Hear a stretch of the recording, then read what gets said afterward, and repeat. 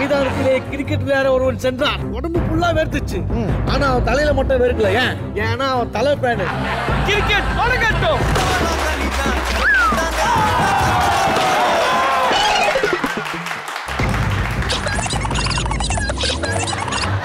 அது இது எது? சீசன் டூ ஞாயிறு மதியம் மூன்று மணிக்கு.